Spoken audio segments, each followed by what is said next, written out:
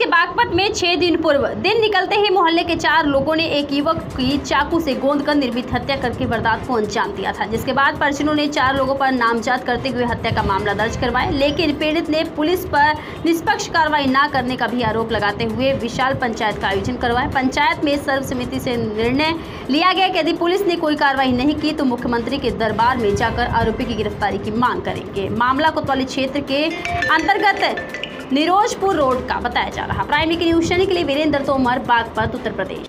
मुस्तफ़ा नाम है जी मेरा। मुस्तफ़ा जी मोहल्ले में पंचायत कर रहे हो। क्या पूरा मामला है? क्यों लोगों को बुलाया है जी भट्टे हुए यहाँ से मेरे भाई को मार दिया गया है। यहीं पड़ोस में घर है उनका। तो हमने तहरीर लिखवाई है यहाँ पे।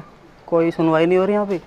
और एस पी ऑफ़िस भी गए थे हम। वहाँ पे भी कोई जवाब नहीं मिल रहा। कहते हैं भाई बाहर निकल जाओ यहाँ से। बार बार तुम आदमी लेकर आते हो यहाँ पे।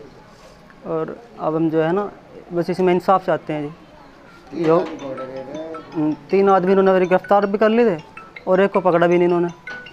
और तीन में से एक का चलान कर दिया और दो को छोड़ दिए इन्होंने ऐसे ही। थाने से तो इंसान मिल रहा तब आगे आपका क्या कदम होगा? क्या आपके जी हम आगे तक जाएँगे जी बात को लेकर। मुख्यमंत्री तक जाएँगे जी। और योगी राज में जी ऐसा हो रहा है कि इंसाफ होता है लोगों घर ढा दिए लेकिन यहाँ पे कुछ भी नहीं हो रहा। गरीब आदमी जी, मारा जा रहा है जी खामा खामी